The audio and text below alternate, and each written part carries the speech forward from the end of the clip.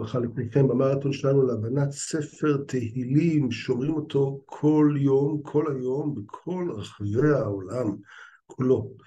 אנחנו עכשיו בתהילים ט' ואנחנו בוחרים מכל תהילים, פסוק אחד או שניים, שנראה שהם מתמצתים את אותו פרק, לעניות דעתי, ואו מראים לנו על התיקון שבאותו פרק. פרק ט' מדבר על השבח והודיה לשם שמציל אותנו מיד רשעים ומתנכלים בדיוק אפרופו לזמן שלנו, זה מתאים, סליחה, על ההצטנות וההתקררות שלי.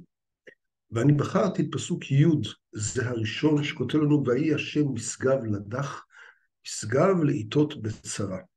כלומר, כאשר השם מכונן למשפט את הכיסא שלו, השם יהיה משגב לישראל שהם דחים, והכוונה כאן היא שאנחנו מודים לקדוש ברוך הוא, משבחים על שמציל אותנו מיד רשע ומתנכל.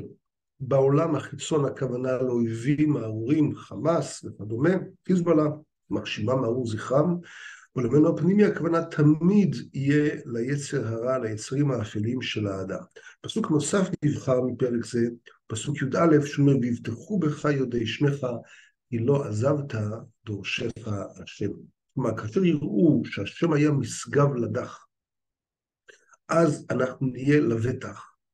וההתכוונות כאן היא שאנחנו נבטח בשם שהוא מבטחנו בכל מצב. כלומר, יש לעשות את ההשתדלות הנורמטיבית של בני אדם, כאשר זו השתדלות שאדם עושה פרנסה, אדם מגן על ביתו, אדם משתמש בצה"ל, אבל אנחנו ראינו, גם ראינו שכאשר לא ניתן לסמוך לא על בשר ודם, לא על צה"ל ולא על אף אחד, שעם ישראל שם היה מופקר למעלה מחמש שעות, ולא היה חדל אישי מבלי לפנות בכלל, שנאמר, תדעו לכם מן האדם, ואוי ואבוי לנו אם אנחנו מאמינים בכוחי ועוצם ידי. שהרי כל הצבאות שמסביבנו, כולם ביחד, עם פצצות האטום, בוודאי שאנחנו לא עולים במספר, שמונה מיליון איש מול 200, מול אין סוף מיליארדים של מוסלמים ומיליארד וחצי של סינים, שלא נדבר על הרוסים. ולכן לסיכום, ויהי השם משגב לדח, משגב לעיתות בצרה. צריך לסמוך על הקדוש ברוך הוא, להתפלל עליו, לבטוח בו, ולעשות את ההשתדלות הפיזית שלא ייראה לנו כנס כמובן.